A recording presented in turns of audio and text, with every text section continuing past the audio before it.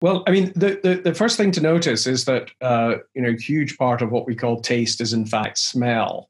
Now, at the moment, there sadly, this is something that more and more people are coming to understand because with COVID 19 and the spread of the, the virus, a lot of people have had a sudden loss of smell and they suddenly say, oh, I, and, and they report it as, I can't taste anything. I can't taste anything in my coffee. None of the food has any flavor.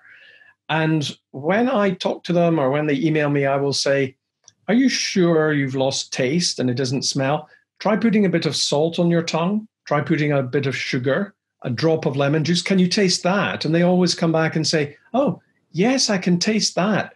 But that's all I can taste. And now they know how much of what they were enjoying as flavor is in fact due to smell.